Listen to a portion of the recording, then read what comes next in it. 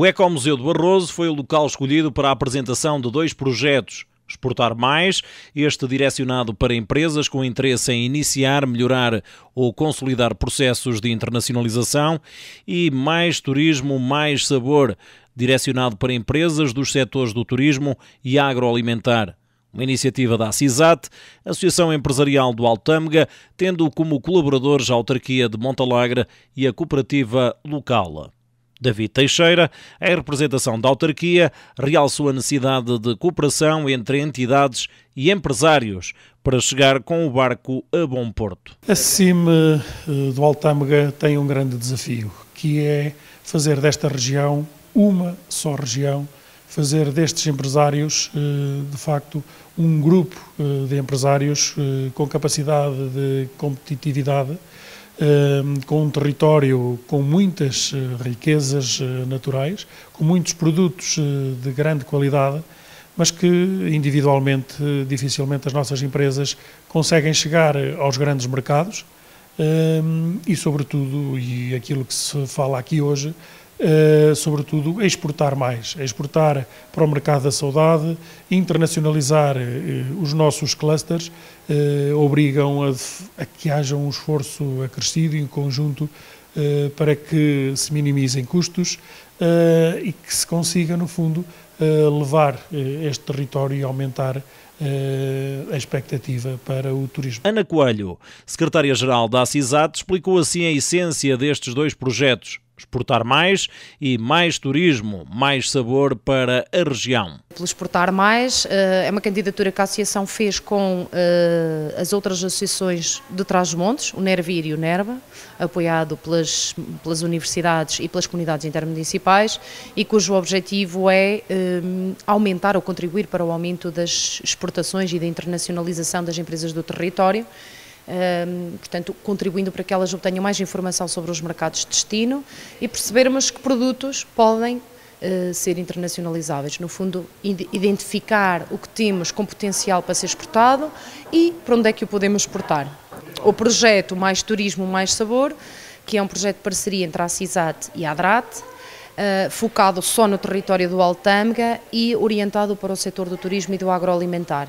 E o projeto tem um objetivo muito simples, que é que estes dois setores uh, falem, trabalhem em conjunto uh, e se promovam de forma conjunta. Uh, é importante que os empresários percebam que cada vez que, por exemplo, no seu restaurante, deixam de vender um produto da terra para vender um produto de fora, se calhar eles estão a ganhar mais um euro, mas o produtor local que lhe podia ter vendido o produto e não vendeu, perdeu dois.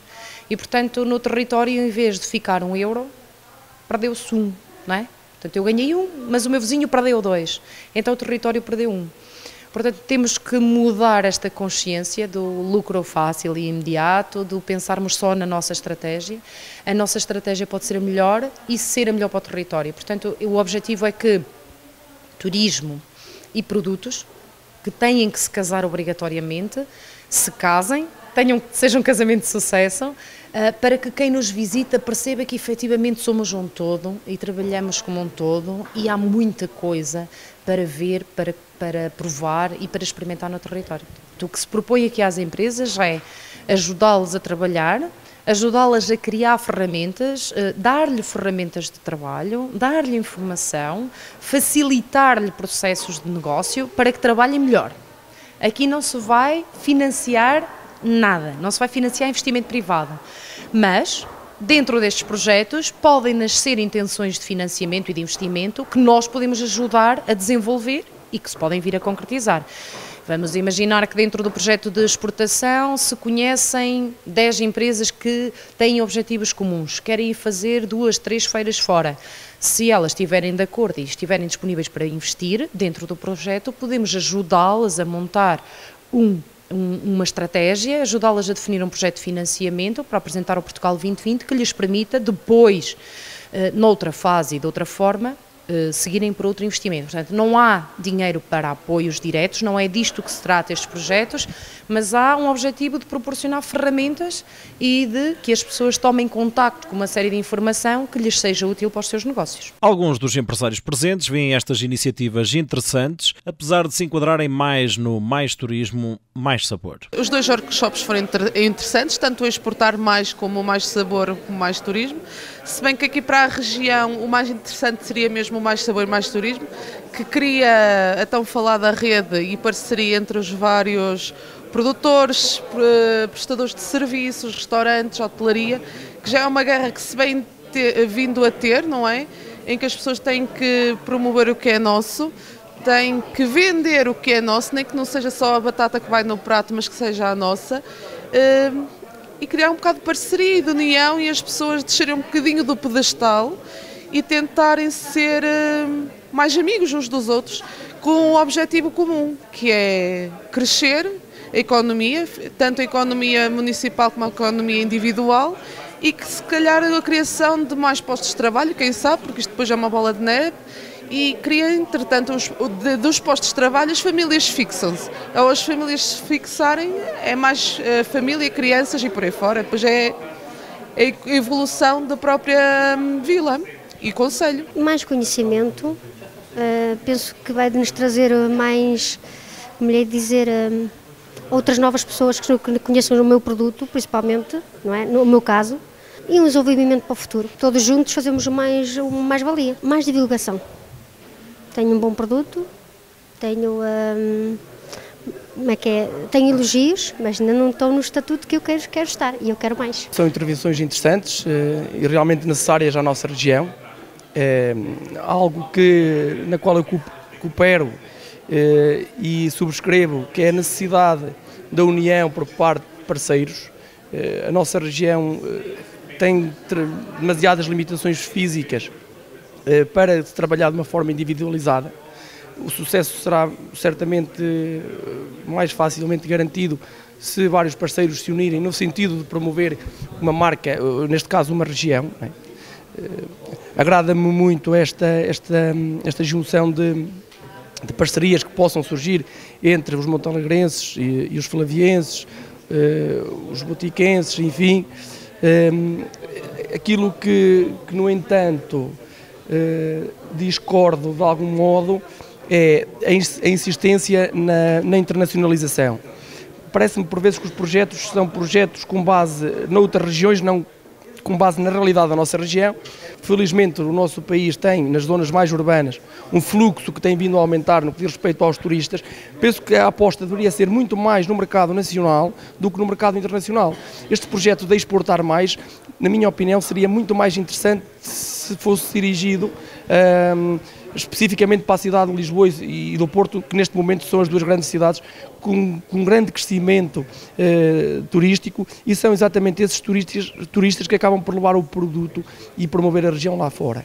O, o segundo projeto, uh, que engloba um, o turismo e, e simultaneamente portanto, os sabores associados aos produtos da região, esse sim já me parece um projeto muito mais interessante, muito mais dirigido para o nosso umbigo, para, as, hum, para a necessidade de atrair turista e valorizar os produtos e também os próprios locais da região.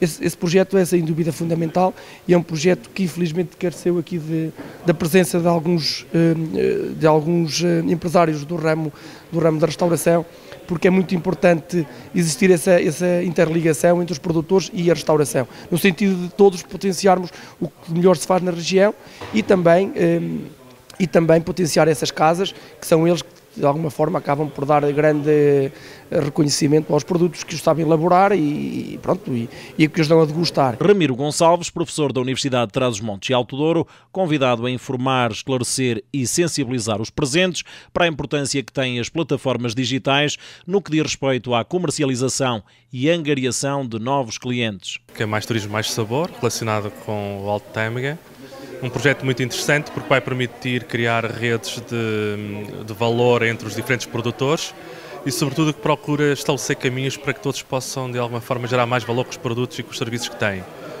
A ideia principal é que as pessoas consigam perceber que têm que cooperar umas com as outras, porque nós não temos escala, e que, por outro lado, se consiga perceber que se pode ir buscar através da internet um conjunto de clientes que não existem na região e conseguirmos de alguma forma vender os produtos excelentes que temos para mercados mais amplos. Há que convencer as pessoas que elas, elas hoje já utilizam esse tipo de equipamentos para fazerem outro tipo de coisas, sobretudo lúdicas, e há que explicar às pessoas que quando utilizam a internet e quando utilizam as redes sociais, por exemplo, elas não só dão para fazer aquilo que normalmente elas fazem, mas também dão para poderem gerar valor com o negócio e não vem mal nenhum ao mundo e é relativamente fácil nós podermos criar lojas na internet e com isso podermos gerar mais valor para todos nós. Portanto, eu posso ter uma quantidade de produtos em casa e posso conseguir vendê-los dessa forma ou posso criar novas formas de me organizar dessa forma. Portanto, há que olhar para a tecnologia não apenas segundo um ponto de vista lúdico, mas sobretudo ver como é que a tecnologia pode ser implementada dentro dos negócios. Quanto aos aspectos negativos nas estratégias implementadas no passado, referiu. Bom, há vários fatores que falharam, como, como se conseguiu perceber durante as, as diferentes conversas e, e também no período de perguntas e respostas. Há uma questão de mentalidade, portanto, as pessoas têm muita dificuldade em cooperar com quem está ao nosso lado e por outro lado, também há alguma dificuldade em perceber este mundo da internet. As pessoas utilizam, mas não percebem como é que ele pode ser utilizado em termos de gerar valor para os negócios. Algo que nós devemos fazer rapidamente, porque a nossa região está a perder população e se não conseguirmos captar clientes lá fora, iremos ficar cada vez com menos clientes. Para Nuno Justo, presidente da Associação Empresarial do Planalto Barrosão, considerou estes projetos de extrema importância para a dinâmica empresarial da região. Dois projetos que eu julgo serem de, de extrema importância eh, para o futuro do, do Conselho de Montalegre e para o futuro das empresas que existem em Montalegre. Eh, chega uma altura em que os empresários têm que, têm que decidir sobre se, se o que têm é suficiente ou se pretendem evoluir e, e, pretendem fazer com que as suas empresas sejam mais competitivas, tanto a nível nacional como internacional. E, uh, e foi um pouco o que hoje se debateu aqui. Isto foi um, um kick-off, foi um, um um início. Uh, teremos que continuar com, este, com estas sessões e eventualmente haveremos de chegar a uma altura em que teremos que passar à prática. E uh, eu julgo que é extremamente importante que as pessoas se, se, tenham noção de que há instrumentos que podem usar para evoluir na vida empresarial, uh, assim eles queiram. Um dos parceiros associado ao projeto Mais Turismo, Mais Sabor é a Sociedade Portuguesa de Inovação. Francisco Melo, consultor, informou-nos qual o papel da ação desta instituição neste projeto ambicioso para a região do Alto Tâmega. O projeto Mais Turismo, Mais Sabor eh, vai contar com a colaboração da Sociedade Portuguesa de Inovação eh, na implementação de algumas ações, nomeadamente naquelas eh, de estudo de boas práticas, tanto de boas práticas no território, para demonstrar no fundo aos produtores e ao setor da hotelaria local que há um potencial uh, praticamente inexplorado uh, nestes setores, que estes setores, que é exemplos de boas práticas que podem ser aproveitados por outros para se lançarem também, isto no mercado local, e também uh, estudos internacionais, de boas práticas internacionais que possam, no fundo, ser replicadas nestes setores aqui no Alto Tâmega.